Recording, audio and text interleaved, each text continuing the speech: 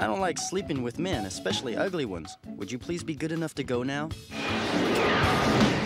Hey, he actually did what I asked him. Hmm?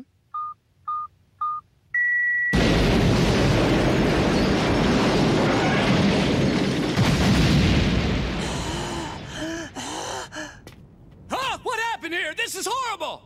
Oh, hi, uh, nothing to worry about. Go back to sleep. Oh my god, it's Vash the Stampede! Glad that I took the time to switch our room numbers in the hotel registry.